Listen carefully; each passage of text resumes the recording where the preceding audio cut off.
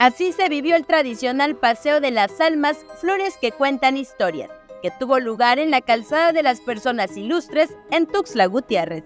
Catrinas, Catrines portaron velas, flores, ofrendas y la fotografía del doctor Faustino Miranda, pues en su honor se colocó un altar de muertos en el Jardín Botánico de Tuxtla Gutiérrez que lleva su nombre. Hace tres años empezamos a hacer esta procesión de armas, como yo le llamé, que consiste en que varias compañeras aquí del Jardín Botánico se disfrazan de Catrinas y Catrines y hacemos un recorrido, vamos tirando los pétalos de cempasúchil que marcan el camino que, siguen nuestros difuntos al venir a los altares y pues culminan aquí en, el altar.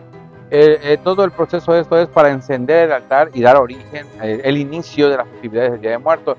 Entonces cada una de mis Catrinas trae un, la primera trae las velas para encender las luces del altar, la segunda trae el, retrato de Faustino Miranda, que es a quien dedicamos este altar, y luego posteriormente van viniendo ya todas las demás armas con, con partes de, del altar, posee flores, frutas, agua, entonces cada una va entrando, poniendo algo en el altar y ya al finalizar pues encendemos las luces y damos por inaugurado este nuestro altar. El altar del Jardín Botánico Dr. Faustino Miranda cuenta con características de la cultura soque, propia del centro del estado. Hicimos esta Catrina monumental, esta Catrina gigante que como ven las manos son articuladas, entonces están como abrazando el, el, este, el, el altar, la, la, las ofrendas que le pusimos y pues entre las manos tiene, se ve la cruz, la cruz está este, decorada con flores este, muy características de la, de la zona soque de, de Chiapas, eh, estas sensatas que se hacen con flores de, de que es como nosotros llamamos a cempasúchil, o esta inmortalito que es esta gonfrena de colores de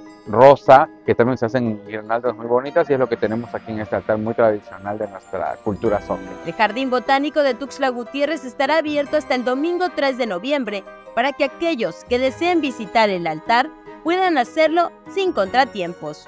Estamos abiertos de 9 de la mañana a 3 de la tarde, de martes a domingos, es el horario de del, Museo Botánico. Entonces va a estar el domingo, ya el, el único mes inhábil, pues ya lo retiramos como tal del altar. Sí, vengan con toda la familia, estamos como les decía, de 9 de la mañana a 4 de la tarde. El día de hoy vamos hasta las 8 de la noche. Vengan con los niños, siempre es importante que, que acerquemos a los niños a los museos, que conozcan que tenemos estos, estos espacios aquí en la calzada. Son tres museos que estamos aquí cerquitas y pues vengan a visitarnos aquí a todos. Para Alerta Chiapas, Rubí Zúñiga.